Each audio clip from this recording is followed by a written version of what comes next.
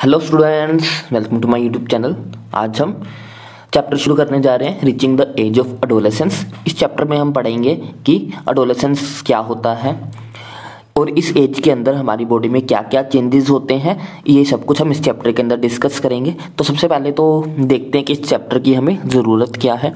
इस चैप्टर की ज़रूरत ये है कि जो अडोलेसेंस एज है, ये एक टाइम पीरियड होता है हमारी लाइफ का, जिसके अंदर हमारी बॉडी में कुछ चेंजेस होते हैं, जैसे कि हमारी जो एज होती है थर्टीन से लेके एटीन तक की एज जिसको हम टीनेजर एज भी बोलते हैं।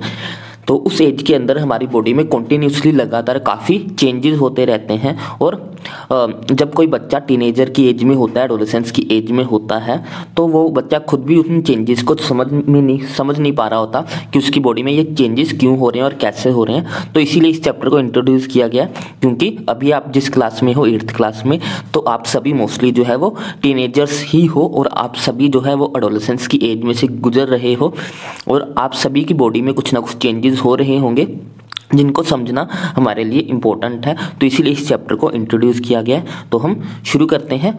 तो in this in the previous chapter you have learn how animals reproduce हमने इससे पिछले चैप्टर में पढ़ा कि जो एनिमल्स हैं, वो कैसे रिप्रोड्यूस करते हैं। रिप्रोड्यूस का मतलब होता है कि अपने बच्चे पैदा करना।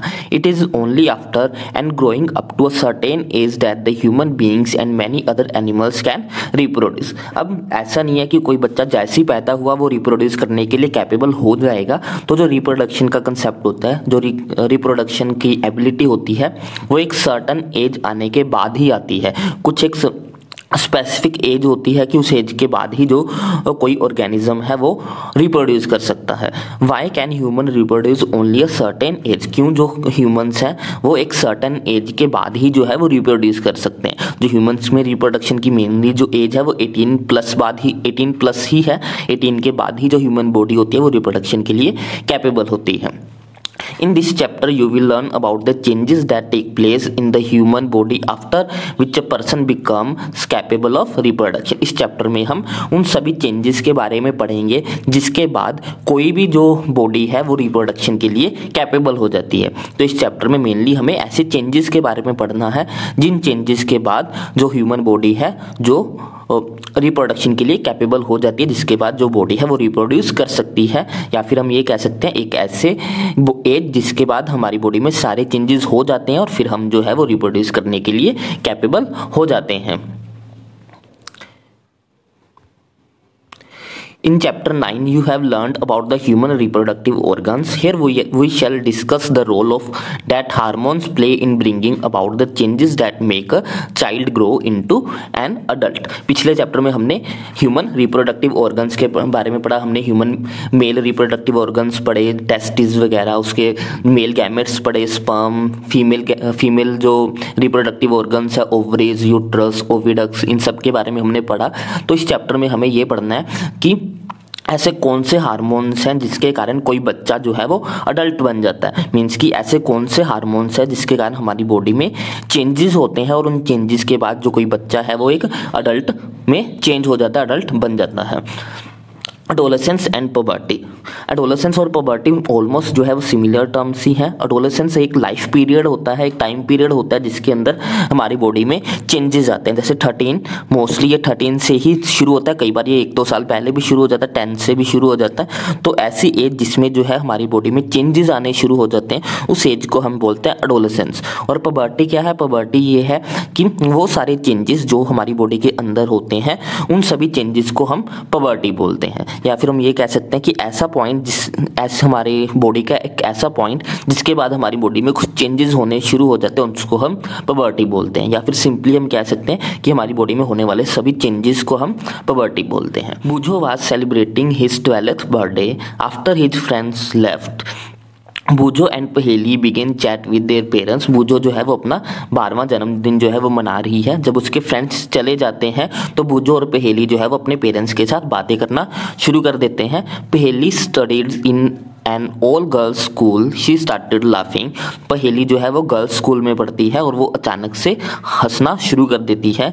She remarked that many of the Boojho's school friends whom she met after year had suddenly shoot up in the height वो कहती है कि वो आज बूजो के जो स्कूल फ्रेंड्स हैं, उनको एक साल बाद मिली है और उनमें से कुछ की जो हाइट है, वो अचानक से काफ़ी बढ़ गई है। Some of them were looking very funny with their hairy line upper their lips उनमें से कुछ जो है, वो अपनी लिप्स के ऊपर हल्के हल्के बालों के कारण काफ़ी फनी नज़र आ रहे हैं। मीन्स कि उनके कुछ की जो है, वो मूछे आनी शुरू हो गई है, जिसके कारण वो कुछ फनी नज़र आ रहे हैं। Her mothers explain that the boys has grown अब उसकी मम्मा ने उसको एक्सप्लेन करते हुए बोला कि अब जो जो है, लड़के जो है, वो बड़े होना शुरू कर गए उनकी जो, उनमें जो है ग्रोथ होनी शुरू हो गई है।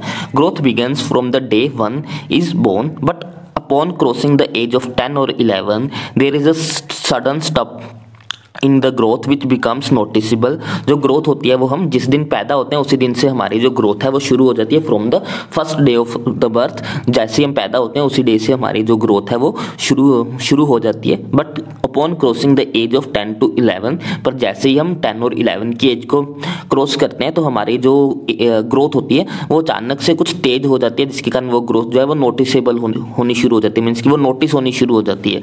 The changes taking place in the body are the part of growing up और जो भी हमारी बॉडी में चेंजेस होते हैं, वो सारे इस बात को रिप्रेजेंट करते हैं कि हम बड़ा होना शुरू कर दिया हम जो है वो ग्रो कर रहे हैं। हम जो है बड़े होने शुरू हो गए हैं। They indicate that you are you are no longer a child but are on the way of becoming an adult ये सारे चेंजेस हमें ये बताते हैं कि अब हम बच्चे नहीं रह गए हैं, अब हम अडल्ट बनने की तरफ़ बढ़ रहे हैं। धीरे धीरे जो है वो हम अडल्ट बनने की तरफ़, आगे की तरफ़ बढ़ रहे हैं। आई जो है वो सोच रहा है, उसके I wondered how long this period marked by the changes in the body will last Boojho जो है वो ये सोच रहा है कि ये जो चेंजेस होने का जो पीरियड है, वो कितने टाइम के लिए हमारी बॉडी में रहता है। और जो पहली है, वो मन में सोच रही है it is strange period of life when you are neither a child nor an adult एक अजीब पीरियड है ज़िंदगी का, जिसमें आप ना ही बच्चे होते हो और ना ही आप बड़े होते हो। ये बच्चे और बड़े होने के बीच का एक पीरियड है, जिसमें आप बच्चे से बड़े होने की तरफ़ बढ़ रहे होते हो। उस पीरियड में आपको ना ही बच्चा कहा जा सकता और ना ही आपको बड़ा कहा जा सकता है। I wonder whether this period between the childhood and adulthood has a special name वो सोच रही है कि क्या इसका कोई स्पेशल नेम है, जो कि चाइल्डहुड और अडल्टहुड के बीच के पीरियड का कोई स्पेशल नेम है या नहीं? तो आगे है growing up is a natural process the period of life when the body undergo changes leading to reproductive maturity is called the adolescence जो ये ग्रोइंग बढ़ने का जो प्रोसेस है, वो एक नेचुरल प्रोसेस है। और इसमें जो जो ये प्रोसेस होता है, जब हमारी बॉडी में चेंजेस हो रहे होते हैं तो इन चेंजेस के दौरान हमारे, हमारी बॉडी के अंदर रिप्रोडक्टिव मेच्योरिटी आनी शुरू हो जाती है। रिप्रोडक्टिव मेच्योरिटी का मतलब होता है कि हमारी जो बॉडी है, वो रिप्रोड्यूस करने के लिए कैपेबल हो जाती है। इन सभी चेंजेस के बाद हमारी जो बॉडी है, वो रिप्रोड्यूस कर सकती है मीन्स कि हम बच्चे पैदा कर सकते हैं इस एज के बाद। तो इसी पीरियड को हम बोलते हैं एडोलेसेंस जब हमारी बॉडी जो है, वो चेंज हो रही होती है, हमारी हमारी बॉडी में रिप्रोडक्टिव मैच्योरिटी आनी शुरू होती है और इसको हम बोलते हैं adolescence adolescence begins around the age of eleven and last up to eighteen और नाइनटीन ऑफ़ द एज ये जो एज है, वो ग्यारह साल से शुरू हो जाती है और अठारह से लेके उन्नीस साल तक ये रहती है। एक दो साल आगे पीछे हो सकते हैं, क्योंकि सभी पर्सन के लिए वेरी करती है। ये जो एज है, वो लड़कियों में पहले शुरू हो जाती है और लड़कों में थोड़ा देर से शुरू होती है ये एज। तो एडोलेसेंस क्या है? एडोलेसेंस है एक ऐसी एज जिसमें हमारी बॉडी जो है वो रिप्रोडक्टिव मेच्योरिटी को अटेन कर लेती है। हमारी बॉडी में चेंजेस होते हैं, उन चेंजेस के कारण हमारी जो बॉडी है वो रिप्रोडक्शन करने के लिए कैपेबल हो जाती है।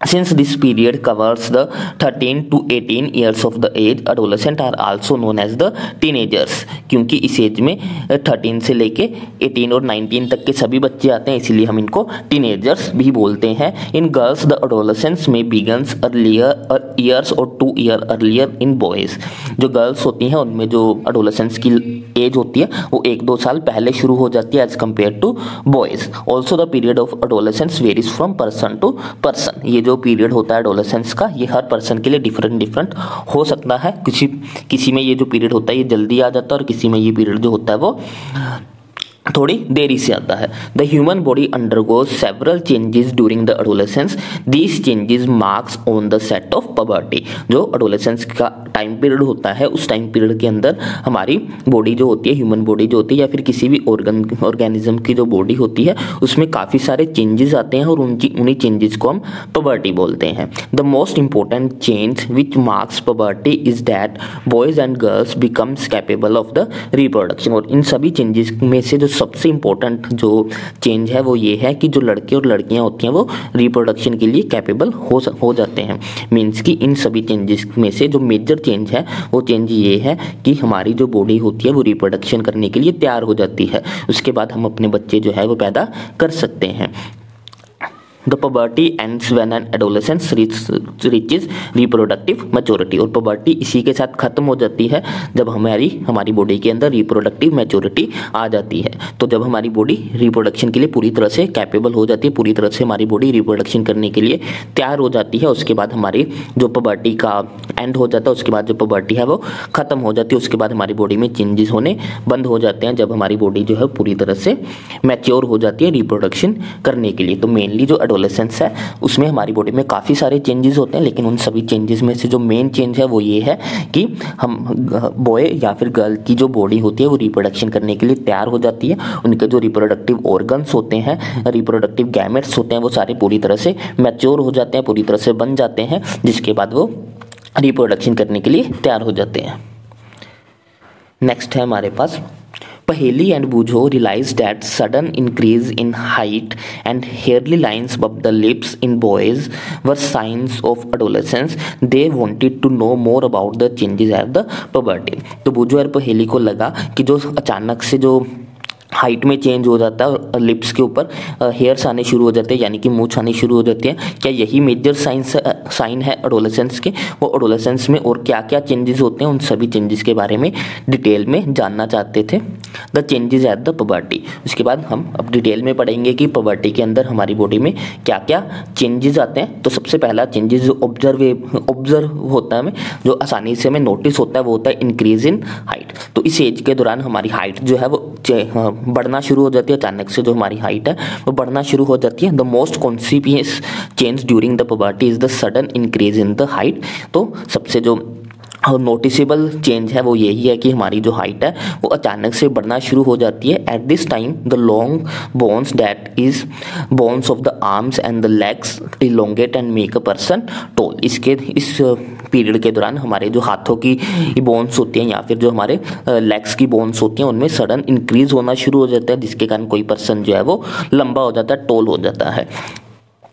और ये जो इंक्रीज होता है, ये पर्सन टू पर्सन वेरी करता है। कुछ पर्सन जो है, वो जल्दी जल्दी से शूट अप कर लेते हैं। कुछ पर्सन की हाइट जो है, वो जल्दी जल्दी से बढ़ जाती है और कुछ पर्सन ऐसे होते हैं, जो धीरे धीरे बढ़ते हैं। और मैक्सिमम जो हाइट में इंक्रीज है एटीन टू नाइनटीन ईयर तक ही रहता है। उसके बाद जो है, वो हाइट बढ़ना बंद हो जाता है। मैक्सिमम जो हाइट बढ़ेगी, वो नाइनटीन से लेके एटीन तक की उम्र तक ही बढ़ती है। उसके बाद जो हमारा हाइट में इंक्रीज होना है, वो ऑलमोस्ट रुक जाता है, उसके बाद किसी की भी हाइट जो है वो बढ़ती नहीं है। तो गर्ल्स और बॉयज़ में भी जो हाइट की वेरिएशन है, वो अलग अलग है। जैसे कि यहाँ पे एक टेबल बना हुआ है, जिसमें बताया हुआ है कि कितने ईयर्स में बॉयज़ और गर्ल्स कितने परसेंट अपनी हाइट को अचीव कर लेते हैं। जब कोई आठ साल का लड़का होता है, वो अपनी सेवेंटी टू परसेंट हाइट को अचीव कर लेता है मीन्स कि उसकी हाइट जितनी भी होनी होगी, उसका सेवेंटी टू परसेंट वो आठ साल की उम्र तक अचीव कर लेता है। लेकिन जो गर्ल्स होती हैं, वो आठ साल की उम्र तक अपनी हाइट का सेवेंटी सेवन परसेंट जो है, वो अचीव कर लेती हैं। मीन्स कि हम ये कह सकते हैं कि गर्ल्स में जो हाइट का ग्रोथ रेट होता है, वो ज़्यादा होता है, वो जल्दी से बढ़ती हैं। वो छोटी एज में ही जो है वो मैच्योर होना शुरू हो जाती है। इसके बाद अगर कोई लड़का 10 साल में है तो अपना 78 परसेंट जो है वो हाइट को अचीव कर लेता है और जो गर्ल है वो 84 परसेंट तक अपनी हाइट को 10 साल की एज में ही अचीव कर लेती है। और जब कोई गर्ल 14 ईयर तक पहुँचती है तो वो अपनी हाइट का 98 परसेंट जो है वो अचीव कर लेती है। मीन्स कि जितनी एज उसकी 14 ईयर में होनी थी, वो मैक्सिमम हाइट जो 14 ईयर तक वो अचीव कर लेती है। उसके बाद उसकी हाइट में बहुत कम चेंजेस आता है। 14 साल 14 फोर्टीन की एज के बाद गर्ल्स की हाइट में काफ़ी कम चेंजेस आते हैं। वो माइनर चेंजेस होते हैं क्योंकि वो मैक्सिमम जो चेंजेस है, वो हाइट में जो इंक्रीज होता है, वो गेन कर चुकी होती है फोर्टीन तक की एज में। और जो बॉयज़ होते हैं, वो नाइन्टी टू परसेंट जो है, वो अपनी हाइट का गेन कर लेते हैं फोर्टीन तक की एज में। और जो बॉयज़ जो है वो, इसीलिए जो बॉयज़ होते हैं वो सोलह सतारह तक की एज में भी बढ़ते रहते हैं, क्योंकि जो बॉयज़ होते हैं वो अपना 99 परसेंट जो हाइट है वो 17 की एज में जाके गेन करते हैं, और जबकि वही गर्ल्स जो है वो 99 परसेंट जो है वो 15 तक की एज तक की गेन कर लेती हैं तो उनके बाद जो उनके हाइट में इंक्रीज होना होता है, वो काफ़ी स्लो हो जाता है ऑलमोस्ट इलिजिबल हो जाता है, इसलिए चौदह पंद्रह साल की उम्र के बाद जो गर्ल्स होती हैं उनमें हाइट में जो इंक्रीज होता है वो काफ़ी कम हो जाता है। लेकिन जो बॉयज़ हैं, वो सोलह सतारह साल तक की एज तक बढ़ते रहते हैं। नेक्स्ट है हमारे पास initially girls grow faster than the boys but by about the 18 years of age both reach their maximum height जो गर्ल्स होते हैं वो स्टार्टिंग में uh, उनकी जो ग्रोथ होती है वो काफ़ी जल्दी जल्दी होती है as compare to boys boys की जो हाइट में इंक्रीज होता है वो स्लो होता है एज कंपेयर टू गर्ल्स में. गर्ल्स में हाइट में इंक्रीज फास्टर हो जाता है लेकिन एटीन तक की एज में पहुँचते पहुँचते वो दोनों जो है वो अपनी मैक्सिमम हाइट को अटेन कर लेते हैं. दोनों में जो rate of rate of growth होता है, वो भले डिफरेंट डिफरेंट हो, लड़के जो है वो धीरे धीरे बढ़ते हैं और लड़कियाँ जो हैं वो जल्दी से अपनी हाइट को गेन कर लेती हैं। तो लेकिन 18 तक पहुँचते पहुँचते दोनों जो है वो अपनी हाइट का मैक्सिमम जो है वो गेन कर लेते हैं। The rate of the growth in height varies in different individual जो हाइट बढ़ने की जो स्पीड हो सकती है, जो रेट हो सकता है, वो हर पर्सन के लिए अलग अलग होता है। कुछ पर्सन जो है वो जल्दी अपनी हाइट को गेन करते हैं, कुछ पर्सन जो है वो स्लो अपनी हाइट को गेन करते हैं। Some may grow suddenly at the puberty and then slow down while the others may grow the gradually कुछ ऐसे होते हैं जो पबर्टी के दौरान काफ़ी जल्दी से अपनी हाइट को गेन कर लेते हैं। और कुछ जो होते हैं वो काफ़ी धीरे धीरे जो अपनी हाइट को गेन करते हैं। I am wonder though I have become taller my face looks much smaller as compare to my body तो पहली सोच रही है कि जब मेरी शरीर जो है वो बड़ा हो जाएगा तो मेरा फेस जो है वो छोटा दिखना लगेगा।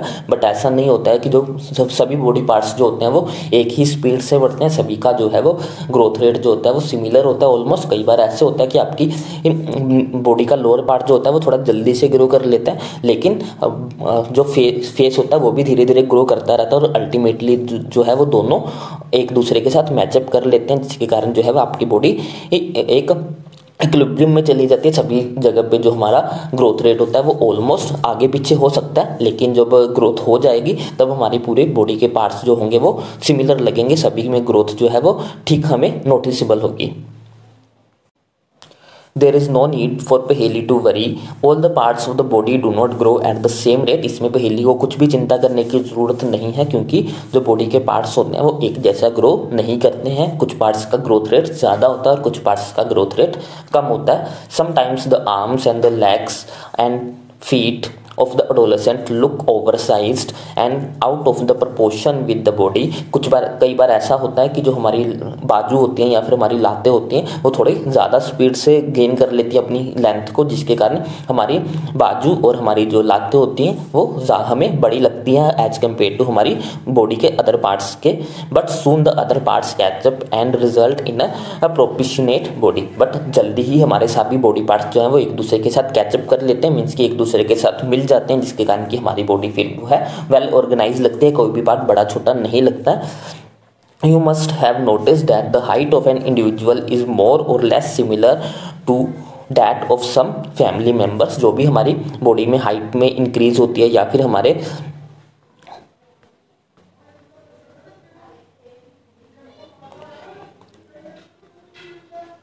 जो भी हमारी हाइट में इंक्रीज होता है, वो मोस्टली ऐसा होता है कि हमारी फैमिली मेंबर्स पे डिपेंड करता है। अगर घर फैमिली में सभी लंबे हैं तो बच्चा भी लंबा होगा। अगर फैमिली में सभी छोटे हैं तो बच्चा भी जो है वो छोटा होता है। This is because the height depend on the genes inherited from the parents ऐसा इसलिए होता है क्योंकि जो हाइट होती है, वो हमारे जीन्स पे डिपेंड करेंगी। हम जितना लंबा, लंबे होंगे, वो इस बात पे डिपेंड करेगा कि हमारे जीन्स कहते हैं, कैसे हैं, जो कि हमें हमारे हमारे पेरेंट्स से मिले हैं। अगर हमारे पेरेंट्स से हमें ऐसे जीन हमारे पेरेंट्स जो है वो लंबे थे तो हमें ऐसे जीन मिले होंगे, जिसके कारण हमारी लेंथ जो है वो ज़्यादा होगी। और अगर हमारे पेरेंट्स छोटे होंगे तो हमें ऐसे जीन मिले होंगे, जिसके कारण हमारी हाइट जो है वो छोटी रह जाएगी। जो ग्रोथ ऑफ़ हाइट होता है, वो इस बात पर डिपेंड करता है कि हमें कैसे जीन्स मिले हैं। हम अपने पेरेंट्स से, जैसे हमें जीन्स मिले होंगे, उसके अकॉर्डिंग ही हमारी जो होती है, वो हाइट में इंक्रीज होता है। इसका मतलब ये नहीं है कि सारा जो ग्रोथ का प्रोसेस है, वो सिर्फ़ जीन्स पे डिपेंड करता है। जीन्स के साथ साथ अच्छी डाइट भी होनी ज़रूरी है। अगर हम अच्छा खाएँगे तो हमारा ग्रोथ रेट भी अच्छा होगा। तो ये कह सकते हैं कि मेनली जो होता है, वो हमारा ग्रोथ रेट जो होता है, वो जीन्स पे डिपेंड तो करता है। इसके साथ साथ जो हमारी अच्छी डाइट भी ज़रूरी है अच्छा खाना पीना भी ज़रूरी है। अगर हम अच्छा खाएँगे, पिएँगे तो हमारी जो हाइट है, वो अच्छे से इंक्रीज करेगी। नेक्स्ट है हमारे पास चेंज इन बॉडी साइज़ जो हमारी बॉडी का साइज़ है, वो भी चेंज होना शुरू होता है हमारी एडोलेसेंस की एज में। You have notice that the boys in your class have the broader shoulders and wide chest than the boys in the junior classes हमने ये नोटिस किया होता है कि जो बड़े बच्चे होते हैं, उनके कंधे और जो उनकी छाती होती है, वो ज़्यादा चौड़ी हो जाती है एज कंपेयर टू छोटे बच्चों के कंपेरिजन में। बड़े बच्चों की जो छाती और कंधे होते हैं, वो चौड़े होते हैं। This is because they have enter the age of the puberty when shoulders generally broaden as a result of growth तो इसका कारण ये है कि वो अब पबर्टी की एज में है, जिसके कारण उनके जो कंधे वगैरह हैं या फिर उनकी चेस्ट वगैरह है, वो ग्रोथ कर रही है। In the girls the the waist becomes wider और लड़कियों में क्या होता है? लड़कियों में कमर के नीचे का जो पार्ट होता है, वो वाइडर वाइडर होना शुरू हो जाता है चौड़ा होना शुरू हो जाता है मीन्स कि उनके जो हिप्स होते हैं, वो चौड़े होने शुरू हो जाते हैं। In boys the muscles of the body grow more prominent than the girls जो लड़के होते हैं, उनमें मसल्स की ग्रोथ जो होती है, वो ज़्यादा होती है एज कंपेयर टू लड़कियों में। इसीलिए जो बॉयज़ होते हैं, वो ज़्यादा स्ट्रॉन्ग हो जाते हैं बड़े होने के बाद, क्योंकि उनमें मसल्स की ग्रोथ जो है वो ज़्यादा होती है as compare to girls thus changes according in adolescence boy and girls are different तो लड़कियों और लड़कियों में जो चेंजेस होते हैं, वो अलग अलग होते हैं। ऐसा नहीं है कि दोनों में सेम चेंजेस हो, लड़कियों में अलग से चेंजेस होते हैं और बॉयज़ में हमारे अलग से चेंजेस होते हैं।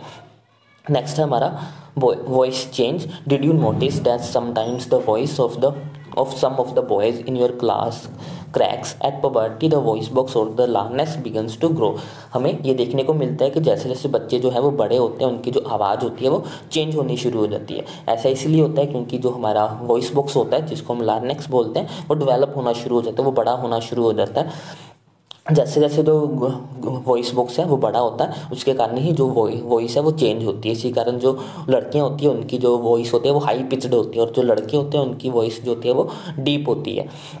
जो हमारा वॉइस बॉक्स होता है, वो एडोलेसेंस की एज में बढ़ना शुरू हो जाता है और जिसके कारण वो हमें गले में से बाहर दिखना भी शुरू हो जाता है। The growing voice box in the voice can be seen as the protruding part of the throat हमारे गले में से वो जो वॉइस बॉक्स है, वो दिखना शुरू हो जाता है, जिसको हम एडम सेपल के नाम से जानते हैं। ये यहाँ पे यहाँ पे ये दिखाया हुआ, ये हमारा वॉइस बॉक्स है, जिसको हम एडम्स एप्पल्स बोलते हैं। ये जो एटम्स एप्पल जो होता है वो बड़ा होना शुरू हो जाता है वॉइस बॉक्स जो है वो बड़ा होना शुरू हो जाता है, जिसके कारण वो गले में से बाहर दिखना शुरू हो जाता है। इसको हम एडम्स एप्पल्स बोलते हैं और इसी के कारण जो हमारी वॉइस है वो भारी हो जाती है। जो लड़के होते हैं, लड़कों में एडम्स एप्पल्स ज़्यादा क्लियरली नज़र आता है। लड़कों में ये जो प्रोट्यूडिंग पार्ट होता है, ये ज़्यादा नज़र आता है as compare to girls girls में ये काफ़ी कम दिखाई देता है, इसलिए उनकी जो वॉइस होती है वो हाईली पिच्ड होती है, उनकी जो वॉइस होती है वो थोड़ी तीखी होती है। As compare to boys boys की जो वॉइस होती है, जो आवाज़ होती है वो भारी होती है।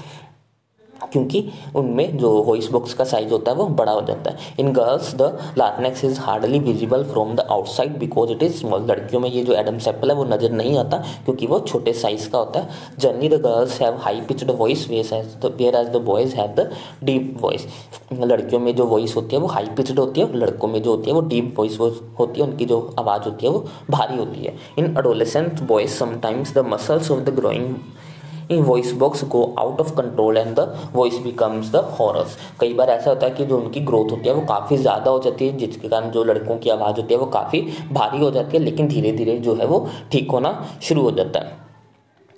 उसके बाद है हमारा increase activities of the sweat and sebaceous gland जैसे जब हम अडोलेसेंस की एज में होते हैं तो हमारी जो स्वेट ग्लैंड होते हैं, जिनको हम पसीना पसीने वाली ग्रंथियाँ भी बोलते हैं, वो जो है वो ज़्यादा काम करने लगती हैं, वो ज़्यादा पसीना रिलीज़ करने लगती है, ज़्यादा जो है वो ऑयल रिलीज़ करना शुरू हो जाते हैं, ज़्यादा जो हमारी स्वेट ग्लैंड होते हैं, वो ज़्यादा ऑयल्स को रिलीज़ करना शुरू हो जाती हैं, जिसके कारण इस एज में मोस्टली हमें पिंपल्स होने शुरू हो जाते हैं। उसका रीज़न यही है कि जो हमारे स्वेट ग्लैंड्स होते हैं या फिर जो हमारे स्पेशियस ग्लैंड्स होती हैं, वो ज़्यादा ऑयल्स को सिक्रेट करना शुरू कर जाती हैं, जिसके कारण हमें पिंपल्स होने शुरू हो जाते हैं। तो ये एक नॉर्मल प्रोसेस है, सबको होता है। इस एज में सभी को पिंपल्स की प्रॉब्लम रहती है तो इसमें हमें वरी होने की कोई ज़रूरत नहीं होती है। During the puberty the secretion of the sweat gland and the spacious gland increase many young peoples get the acne and pimples on the face at this time because of the increased activity of these, the, these glands in the skins. तो ये सभी को pimples होने शुरू हो जाते हैं क्योंकि जो हमारे स्मेशियस ग्लैंड्स होते हैं, वो ज़्यादा ऑयल्स को रिलीज़ करते हैं, जिसके कारण हमें पिंपल्स होते हैं।